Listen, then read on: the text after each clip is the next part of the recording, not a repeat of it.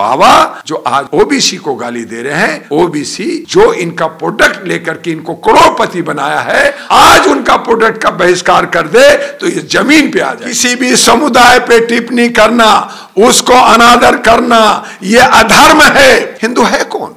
कौन है हिंदू? ये सत्ता के लिए, अपना व्यवसाय बनाने के लिए, ये ये ब्राह्मणवाद या मनुवाद और दूसरे लोगों को ये तंग कर रहे हैं, माफिया आज जो है ईवीएम है। और ईवीएम को हैक करके ईवीएम की चोरी करके ईवीएम को बदल कर करके ये सत्ता में काबिज हो रहे हैं। आज गोदी मीडिया कह रही है कि बीजेपी 400 से ऊपर पास हो गई है, वो जीत गई है। तो बस जीत गई तो फिर आपने चाइना बना दिया, आपने रशिया बना दिया।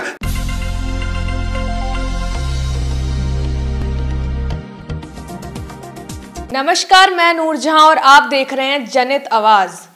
भाँग के नशे में बाबा रामदेव ने कहा, ओबीसी की ऐसी की तैसी।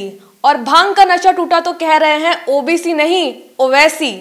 इसी चीज़ पर चर्चा करने के लिए हमारे साथ मौजूद है विश्वविख्यात मानव अधिकार लीडर डॉक्टर दुआ जी सर, क्या कहेंगे, जिस तरीके से टिप्पणी दी है ओबीसी के ऊपर बाबा रामदेव ने, उस पर आपका क्या कहना है? जनित आवाज़ को मैं बहुत बहुत धन्यवाद करूँगा और आपके चैनल से भारतवासियों को नौ वर्ष की शुभकामना दूँगा।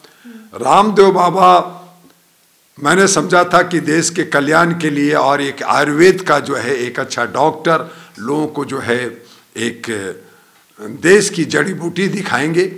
लेकिन राजनीतिक में आ कर करके राजनीतिक का जो सोच रख कर करके, जो हमारे जनता को, जिनको सनातन के अंदर सात छ हज़ार सात सौ सैतीस जातियों में बांट कर करके।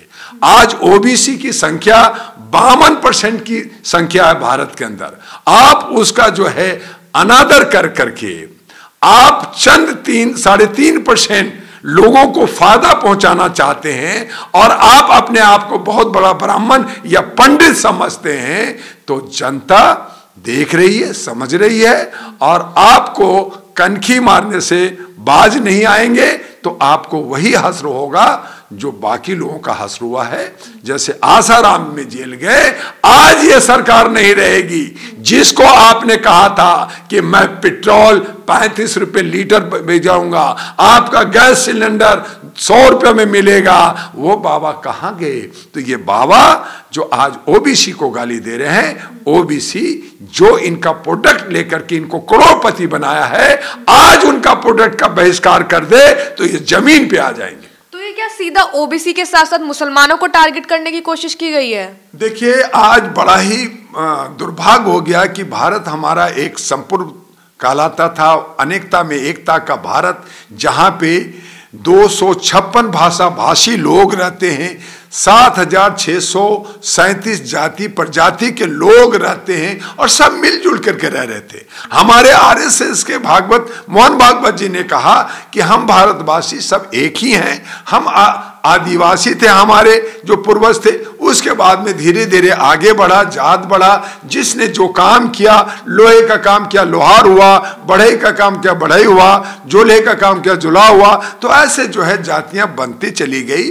और उसको आज राजनीति का रूप दे कर करके आप क्षुद्र और छुआछूत का समीकरण बना करके 1500 साल पीछे ले जा कर करके आप साढ़े तीन परसेंट जो तथाकथित ब्राह्मण है, जो ओरिजिनल ब्राह्मण है, वो ब्रह्मांड का ज्ञान रखते हैं। और यही वजह है कि आज छह शंकराचार्य जो बहुत ही ज्ञानी है, जिनको पूरा भारत मानता है, उन्होंने कहा कि राम कि जो आप आज अनादर कर रहे हो, उसका जो है जिस तरह से प्राण प्रतिष्ठा कर रहे हो, राम के मंदिर के अंदर ध्वजारोहण नहीं हुआ, अभी मंदिर कंप्लीट नहीं हुआ, उसका शुद्धिकरण नहीं हुआ, और आप प्राण प्रतिष्ठा करने जा रहे हो। तो उन्होंने कहा, आज रामदेव बाबा और ये बाकी लोग जो है, ये सत्ता के लिए, अपना व्यवसाय बनाने के लिए, ये ये ब्राह्मणवाद या मनुवाद और दूसरे लोगों को ये तंग कर रहे हैं तो ठीक नहीं है। आज भारत के अंदर अगर राष्ट्रीय जनगणना हो जाए तो आज सत्रह परसेंट मुसलमान है। कहीं ऐसा ना हो जाए कि ये बीस और पच्चीस परसेंट हो जाए। अगर पच्चीस परसेंट हो गया तो आप सत्ता से विमुक्त हो जाएँगे। तो इस तरीके से मतलब खुले मन से विवादित टिप्पणी करना कहाँ तक सही है? किसी भी धर्म पे टिप्पणी करना किसी भी समुदाय पे टिप्पणी करना, उसको अनादर करना, ये अधर्म है और ये सब अधर्मी लोग हैं। आपको जो चीज़ गलत लग रहा है, उस पर बोलिए। लेकिन पूरी समुदाय को अगर गाली देंगे तो ये उचित नहीं है। हर जगह जो है, अच्छे लोग भी हैं और बुरे लोग भी हैं। राम हमारे पुरुषोत्तम रहे। हम उनको भगवान माना, लेकिन रावण ज्ञानी था, हम उसको असुर माना। तो इस तरह से आप लोग राम को तो आगे ले जा रहे अच्छी बात है, लेकिन कहीं आप रावण और कौआ बन कर करके, जो राम जी कह गए थे सिया से, ऐसा कलयुग आएगा हन चुनेगा दाना तुनका कौआ मोती खाएगा तो आप कौए लोग मोती और छप्पन भोग खा रहे हो। हमें गौमूत्र और जो है गोबर खिला रहे हो। 111 में स्थान पे गरीबी भी लाया है। 205 लाख करोड़ हमारे ऊपर लोन, हर नौजवान, हर भिकमंगा चाहे वो सल्टर में रहता हो, चाहे वो कहीं और रहता हो, सड़कों पे सोता हो, आज उस पर एक लाख चालीस हज़ार का लोन हो गया है। ये सरकार को सोचना होगा। ये कुशासन चल रहा है। सुशासन नहीं चल रहा। है और इसीलिए रामदेव बाबा अपने को अगर धार्मिक कहते हैं, अपने को अगर सन्यासी कहते हैं तो भोग की बात ना करे वो जो है सन्यास की बात करें। इसमें वो ओवैसी जी का भी बयान आया है कि मुसलमान जाग जाओ इस तरीके से जो मस्जिदों पे वार करा जा रहा है सबको एकजुट होना पड़ेगा। उस पर आपकी क्या राय है? देखिए ओवैसी साहब भी राजनीतिक कार्ड खेलते हैं लेकिन मुसलमानों की हक अधिकार के लिए मुसलमानों की बब बोर्ड की ज़मीन छीनी जा रही है। मुसलमानों को शिक्षा नहीं मिल रहा मुसलमानों को रोज़गार नहीं मिल रहा। मुसलमानों को स्वास्थ्य और सुरक्षा नहीं मिल रहा। उस पर ओवैसी साहब को काम करना चाहिए। और मुसलमान एक अलग अपना आज तक जिनको आपने आतंकवादी कहा, अलगाववादी कहा, मुझे बताइए कि देश जब आज़ाद हुआ तो सबसे ज़्यादा मुसलमान जो शहीद हुआ कौन था उसमें? क्या आरएसएस के लोग थे? तो इसलिए मुसलमानों को दोष देने से अच्छा है कि आप अपने गिरवा में झांकिए।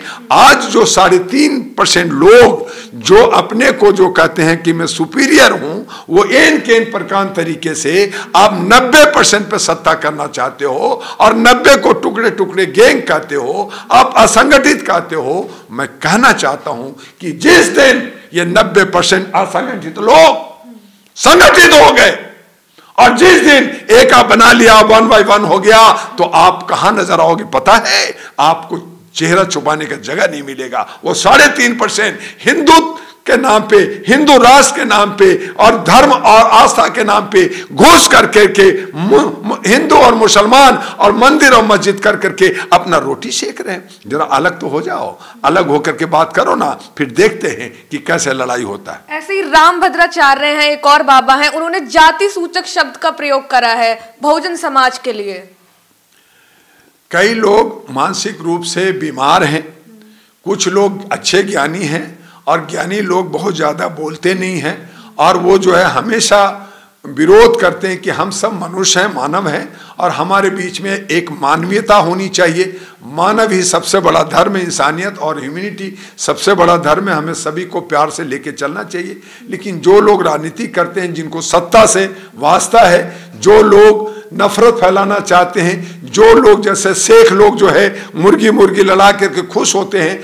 ऐसे ही हमारे हिंदुस्तान के अंदर जो हिंदुत्व को खत्म किया, हिंदू को खत्म किसने किया? हिंदू ने खत्म किया। आज हिंदू है कौन?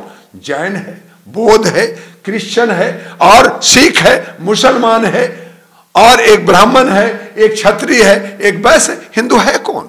कौन है हिंदू? लेकिन पता नहीं, ये कहाँ से हिंदू ला करके हिंदू राष्ट्र बनाने की बात करते हैं और मुसलमानों जो अमन शांति का एक पैगाम देना चाहता है, नमाज़ रोजा रखता है, वो जो है अपना ईमान पे बात करता है, आप उसको हमेशा कटुआ या आतंकवादी पार्लियामेंट के अंदर कहते हो, ये आपको शोभा देता है। मतलब हर बार बहुजनों को ही क्यों टारगेट करा जाता है? राम भद्राचार्य जी देख लीजिए या बाबा रामदेव देख लीजिए, बहुजन को ही टारगेट किया है। उनको साढ़े तीन परसेंट को हमेशा डर होता है कि कहीं अगर बहुजन एका बना लिया, कहीं ये एक हो गए और अगर इन्होंने अधिकार ले लिया, छीन लिया तो मैं कहाँ जाऊँगा? इसलिए वो एन के इन प्रकार तरीके से बहुजनों के बीच में फूट करो, शासन करो, जो अंग्रेज़ों की नीति थी, वो अपनाते रहती है। कहीं ना कहीं उनके बीच में घुस कर करके बेमनस फैलाते रहती है, उसको गलत सलत पाठ पढ़ाते रहती है। हमारे जो बहुसंख्यक के जो हमारे मर्द होते हैं, वो मीटिंग करते हैं, अधिवेशन करते हैं, रैली और प्रदर्शन करते हैं और हमारे बहुसंख्यक की औरतें मंदिर में जाती हैं, जहाँ पुजारी उनको डराता है सहमाता है कि तुम अगर पूजा नहीं किए, तुमने अगर ये चढ़ावा नहीं चढ़ाए, तेरा बेटे को नौकरी नहीं मिलेगा, तुम्हारा पति का जो है एक्सीडेंट हो जाएगा, तुम बीमार हो जाओगे तरह तरह से वो डराते हैं और डरा कर करके यही साम्राज्य फैलाया है तो हम बहुजनों को सचेत होना होगा और अपनी लड़ाई खुद लड़नी पड़ेगी अपने दम पर। एक आखिरी सवाल जो बहुत ही लोगों का मुद्दा भी बन रहा है इसमें वकील भी शामिल हो चुके हैं कि जो ईवीएम को लेकर जो मुद्दे उठ रहे हैं कि 2024 में क्या बैलेट पेपर से चुनाव होने चाहिए ये तमाम चीज़ें नज़र आ रही हैं। बिल्कुल सही कहा जर्नलिस्ट महोदय देखिए वकील डॉक्टर इंजीनियर आईएएस आईपीएस ये सब इंटेलेक्चुअल कहलाते हैं। हम लोगों ने लगातार कई 2020 से ही कह रहे हैं कि ईवीएम मशीन जो टीएन सेशन लेके आए थे 1999 में, वहाँ तक कोई गड़बड़ी नहीं थी। 2011 तक कोई गड़बड़ी नहीं थी। 2014 में थोड़ी सी हेरफेर हुई, जो जनता को समझ में नहीं आया कि शायद इसमें कोई गड़बड़ी नहीं है। लेकिन जैसे ही मोदी की सरकार आई, जैसे बीजेपी की सरकार आई, सबसे पहले इन्होंने थ्री एम पे काम करना शुरू किया। मनी, दौलत का जो है अडम्बन बना करके, उसका प्रभाव बना कर करके पैसे से खरीदने के काम किया। और दूसरा एम, जो कहते हैं कि माफिया, पहले गुंडा होता था, गोली चलाती थी, तलवार चलाते थे, बम मारते थे, अब उसमें तो बुलडोजर चल रहा तो माफिया तो है नहीं। तो माफिया इन्होंने ईवीएम को बना दिया। माफिया जो है ईवीएम है। और ईवीएम को हैक करके ईवीएम की चोरी करके ईवीएम को बदल कर करके ये सत्ता में काबिज हो रहे तो माफिया के मार्फत हो रहे अब तीसरा जो प्रोपगंडा था, जो दशा दिशा दिखाना था, वो है, तीसरा एम है मीडिया। तो मीडिया जिसके पैरों में चप्पल नहीं होता था, जिनके कपड़े नहीं होते थे, फटे होते थे, जिनके पास चाय पीने का पैसा नहीं होता था, परिवार चलाने के लिए पैसा नहीं होता था, मैं जानता हूँ अपने जीवन में कई जर्नलिस्टों को मैंने चाय पिलाया, कई लोगों को मैंने राहत दी। आज वो करोड़ों में खेल रहे हैं बड़े बड़े हाउस बना हुआ है, और जो है वो चार्टर प्लेन में घूम रहे हैं, वो कहाँ से?